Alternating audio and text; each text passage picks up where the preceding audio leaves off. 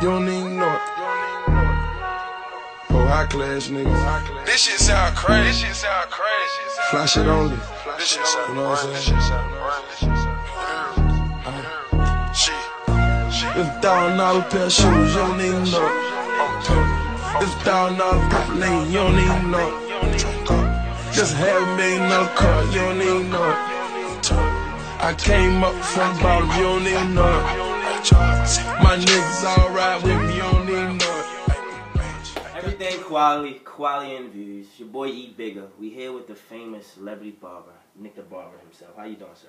Wonderful. How are you, E Bigger? I can't complain. Thanks for coming today. I appreciate Nothing. Anything for you. so I have a uh, few questions for you. Um, first question being, uh, what does quality mean to you? When you think of the word quality, what does that? What comes to mind? the best that you can do. Wow. That's what comes to mind for me. You know, if you define quality by the best that you can possibly do, then you know that you're doing the best that you can possibly do, and that's all that really matters. the You best know. you can possibly do.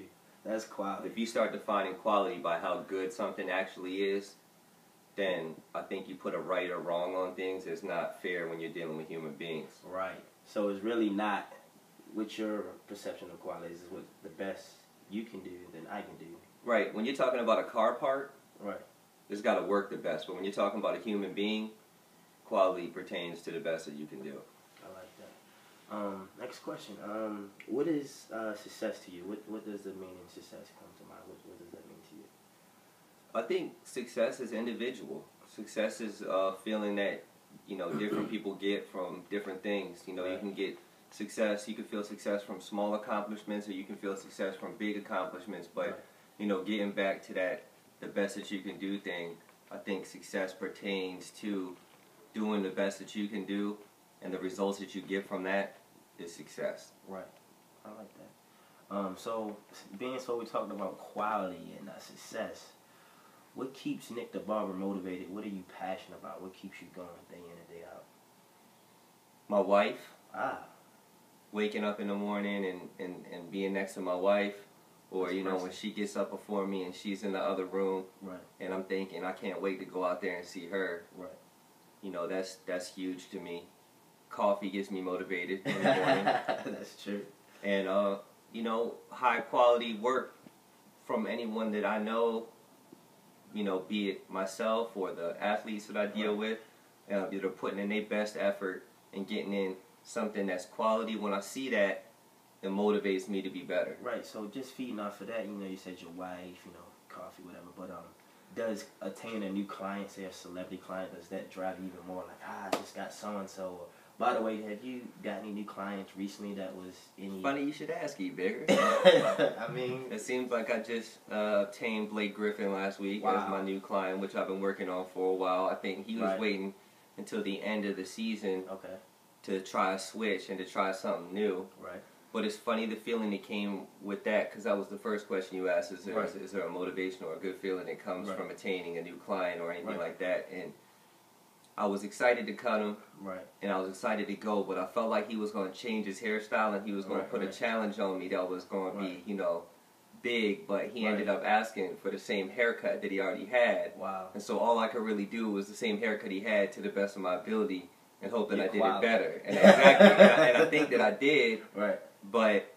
And he said that he loved it and it was perfect, but it didn't really give me a chance to show him what was what. ah, So- because in your mind you're already prepared for something different if that's what he was expecting. But he wanted, you know, the But that- similar, but you just made your adjustments based on his hair. Right, but that's also something I learned in the hair industry is you gotta give people the haircut they want, not the one haircut you want them to have. And I Ah. used to have that problem. Wow. So that's my ego getting in the way, really. You know, Right. saying I want to give him the hair. I want to. I don't even know what haircut I want him to get. I just wanted Right. to change it so I can do something. you know what I'm saying? That's real. Um, man, that was dope. But um, so can you just tell people uh, what's a hobby of Nick Da Barber? Well, my favorite hobby I would say is taking walks with my wife. I also like to write rap verses. Okay. So, but yeah, my wife and I we take a lot of walks. Like we take walks. we take at least a walk a day. Runyon Canyon.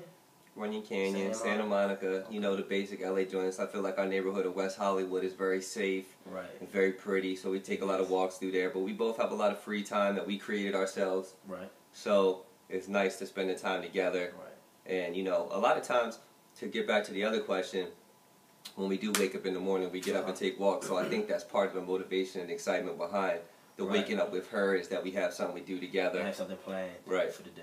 So it's dope. We got different joints. We got this steep hill that goes up. Oh, so y'all got y'all even have certain like places where you go to walk. oh yeah, yeah, yeah. We go to eat. We go to get at more exercise. We go to incline. We go to long distance. We got a lot of different joints that we like to do. And then going to running is like going ham. Going ham. Yeah, that's when we went So you heard it. Going to rain is going ham. So plan some walks with your spouse or your significant other. Yeah, man, running, running's not a game. You go too far down that hill and try to get back up to where you started from, you gonna have a problem. So start slow. That's what's up. That's dope, man. I like that. Um, last but not least, um, what is a quote you live by? What's one of your favorite quotes? My favorite quote is Muhammad Ali. I don't stop when I'm tired. I stop when I'm done. You don't even know. And when Feel I'm me? done. I don't know yet, but I ain't done even though I'm tired. You dig? My niggas all right with me. You Appreciate don't that. Quality interviews with Nick Da Barber, man.